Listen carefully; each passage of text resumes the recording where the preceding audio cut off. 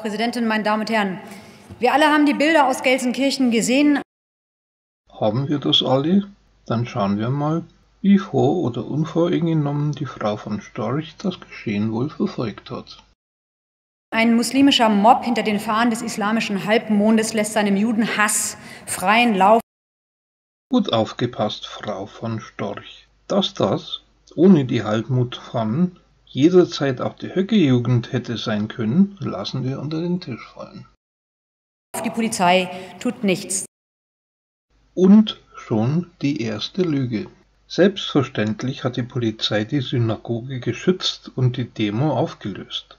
Und mit an Sicherheit grenzender Wahrscheinlichkeit auch die Personalien derer festgestellt, die gegen einschlägige Gesetze bezüglich Antisemitismus verstießen.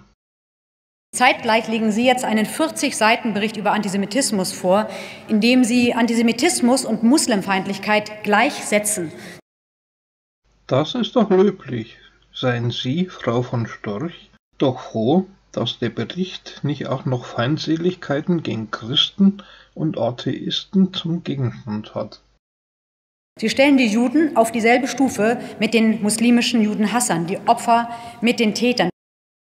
Ach, Hass gegen Juden, den es übrigens auch in den Reihen der AfD gibt, ist also böse, während Hass gegen Muslime gut ist? Ich dachte immer, Hass sei Hass, ganz ungeachtet dessen, wer da wen hasst. Das ist kein Kampf gegen Antisemitismus, das ist Antisemitismus. Wie kommt man auf derart abstruse Ideen? Ihre Islamkonferenz ist in Wahrheit eine Islamistenkonferenz. Das ist pauschaler Hass allen Muslimen gegenüber. Wo ist da der Unterschied zum Antisemitismus? Sie sind deren Handlanger und nützliche Idioten. Entschuldigung. Die nachgeschobene Entschuldigung für diese aus der Luft gegriffene, böswillige Unterstellung hilft da auch nichts. Sogar Regierungssprecher Seibert kam angesichts des entfesselten muslimischen Judenhasses jetzt eine Erkenntnis. Ich darf zitieren. In diesen Tagen wird uns klar, es gibt auch muslimischen Antisemitismus. Verstehe ich das jetzt richtig? Soll uns diese explizite Erwähnung muslimisch vermitteln, dass Judenhass, wie er in treudeutschen Burschenschaften, der Höcke-Jugend oder dem Flügel der AfD praktiziert wird, in Ordnung ist? Herzlichen Glückwunsch, willkommen zurück in der Realität. Dem Munde einer Frau von Storch entfleucht, bekommt das Wort Realität ein leichtes Geschmäckle. Die Umfragen unter Juden zeigen, die tätlichen Angriffe gegen Juden gehen an allererster Stelle weit überwiegend von Muslimen aus. Dann haben die von der AfD umgefragten Juden wohl die Kriminalstatistik nicht richtig gelesen. Von 2217 Straftaten gegen Religionsgemeinschaften waren 70 Prozent gegen Juden, 25 Prozent gegen Muslime und 5 Prozent gegen Christen gerichtet. Die Straftäter waren zu 90 Prozent Rechtsextremisten. Überwiegend Muslime ist schlicht und ergreifend eine erstunkene und erlogene Behauptung der Frau von Storch. Juden können sich in Deutschland nicht mehr frei bewegen, sagt Regierungssprecher Seibert jetzt nach Gelsenkirchen. Ja, und die AfD hat dank ihres ausdauernden Hetzens einen nicht gerade unerheblichen Anteil an dieser Entwicklung. Und was funkt CSU-Mann Weber aus seinem Raumschiff in Brüssel? Da hat aber jemand reichlich wenig Interesse an einer sachlichen Diskussion. Er sieht die tobenden muslimischen Horden Genau das ist es, was das politische Klima in Deutschland immer weiter verroht, die unverblümte Hetze der AfD. Und sagt, die AfD ist schuld. Jeder weiß das, sogar die Frau von Storch. Sie würde es nur niemals zugeben, da sie ihrer Partei sonst die Propagandamasche versauen würde, die bisher doch so super funktioniert hat. Na klar, das ist Kampf gegen rechts, der zur Wahnvorstellung geworden ist. Nö, es ist der Kampf gegen Hass und Hetze, der Frau von Storch und ihrer Hetzpartei nicht passt. Sie wollen einfach nicht wahrhaben, dass jetzt die Lunte hochgeht, die Sie gelegt haben. Nö, Es ist eher so, dass eure Saat der Gewalt nicht in der Form aufgegangen ist, die ihr gerne hättet, und euch langsam die Fälle davon schwimmen, wenn ihr nicht bald eine neue Sau findet, die ihr durchs Dorf treiben könnt. Mit ihrer Einwanderungspolitik haben sie Judenhass aus dem Nahen Osten nach Deutschland importiert. Warum diese Lügerei? Man muss nichts importieren, das bereits latent vorhanden ist. In der UN steht die Bundesregierung zuverlässig als treuer Partner immerzu an der Seite der islamischen Regime und stimmt gegen Israel. Die nächste Lüge. Kommen da noch irgendwann belegbare Fakten oder geht das bis zum bitteren Ende so weiter?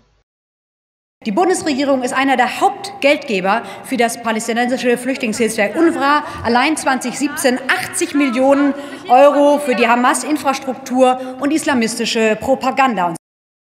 Eine weitere unverschämte Lüge. Sie Link zu UNRWA, ausgeschrieben das Hilfswerk der Vereinten Nationen für Palästina-Flüchtlinge im Nahen Osten, in der Beschreibung. Sie dulden die Muslimbrüder, Graue Wölfe, BDS-Bewegung. Gibt es für irgendeine Ihrer unglaubwürdigen Behauptungen auch nur einen einzigen qualifizierten Beleg, Frau von Storch? Und erst heute kommt die Meldung, dass drei Hisbollah-Vereine verboten werden worden sind. Die Hisbollah ist seit dem 19.12.2019 in der BRD verboten. Was soll diese Bemerkung am 19. Mai 2021 für einen Sinn ergeben? AfD wirkt. Ja, extrem toxisch für unsere Demokratie. Haben Sie vergessen zu erwähnen, Frau von Storch. Die BDS-Bewegung ist die Klammer zwischen linken und muslimischen Antisemitismus. Der Deutsche Bundestag verurteilte im Mai 2019 Boykottaufrufe gegen Israel und bewertete die BDS ausgeschrieben Boykott, Desinvestitionen und Sanktionen, als antisemitisch. Für was soll diese Bemerkung zwei Jahre später also gut sein? Diese gemeinsame Front richtet sich gegen Israel, Deutschland und den Westen. Und ist mit Sicherheit weit weniger gefährlich als die Umtriebe der AfD, des Dritten Weges, der Identitären, der Reichsbürger oder der Schwerdenker. Sie reicht vom Iran bis zu den Grünen, von der Hezbollah bis zu Black Lives Matter und von der Hamas bis Fridays for Future. Womit das Feindbild der AfD dann abgedeckt wäre. Die Erklärung, welcher kausale Zusammenhang zwischen diesen zu Feinden erklärten Parteien, Gruppen und Bewegungen besteht, hätte mich schon interessiert. Er wird aber nie nachgereicht werden, da Frau von Storch ihn selbst nicht kennt. Es waren hauptsächlich neben PFLP nach Einschätzung des Bundesamtes für Verfassungsschutz ist die PFLP in Deutschland bislang nicht nennenswert in Erscheinung getreten. Vertreter der BDS, die die gewalttätigen Judenhasser-Demos vom Wochenende deutschlandweit angemeldet haben. Da die BDS eine verbotene Organisation ist, kann sie gar keine Demonstrationen anmelden. Das haben wir heute Morgen im Innenausschuss gehört vom Innenministerium. Was zu bezweifeln ist, siehe letzter Kommentar.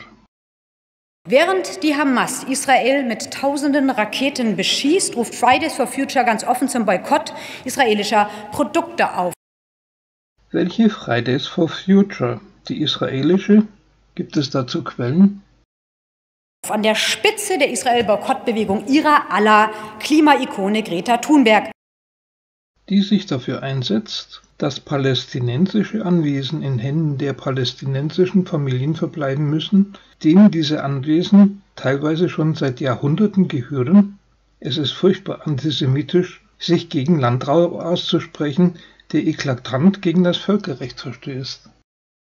Gut, dass die Maske jetzt fällt. Das kann ich nur unterstreichen.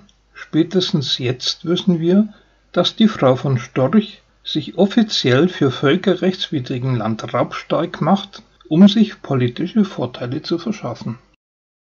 Mit ihren politisch korrekten Workshops und verlogenen Dialogveranstaltungen werden sie die Welle des muslimischen Judenhasses nicht stoppen. Mit Gewalt und Ausweisung deutscher Staatsbürger, viele der in der BRD lebenden Muslime sind hier geboren, wird das ebenso wenig funktionieren. Dabei ist klar, was jetzt geschehen muss. Verbot von BDS. Geschehen im Mai 2019. Muslimbrüdern und Grauen Wölfen stehen unter Beobachtung des Verfassungsschutzes. Stopp der Auslandsfinanzierung von Moscheen. Wenn, dann sollte das für alle religiösen Einrichtungen gelten. Die Islamkonferenz auflösen. Irgendwie hat die Frau von Storch recht wenig Interesse, Konflikte friedlich zu lösen. Sie lässt lieber Schießbefehle ausgeben. Und die Zahlung an die UNRWA muss eingestellt werden. Blöde Idee. Ein Land sollte sich an seine vertraglichen Verpflichtungen halten. Zudem lässt die Forderung nach Einstellung humanitärer Hilfe Rückschlüsse auf die inhumane Einstellung dessen zu, der das fordert. Merkel sagt dazu, sie will die Angriffe nicht dulden. Sollte das nicht Frau Dr. Merkel heißen? Oder hat die AfD die Höflichkeit jetzt auch schon unter Altbräuche abgeheftet und in letzter Konsequenz abgeschafft? Seibert will sie nicht akzeptieren. Sollte das nicht Herr Seibert heißen? Schäuble findet es unerträglich. Sollte das nicht Herr Dr. Schäuble heißen? Machen Sie bitte endlich das deutsche Phrasenlexikon zu und tun Sie etwas. Schlag du lieber mal die Benimmregeln des Freiherrn von Knigge auf und informiere dich, welche Benimmregeln für Parlamentarier, Parlamentarierinnen und Parlamentneutren bei öffentlichen Reden eingehalten werden sollten. Wenn Sie wollten, könnten Sie nicht. Das Problem ist, dass Sie nicht wollen.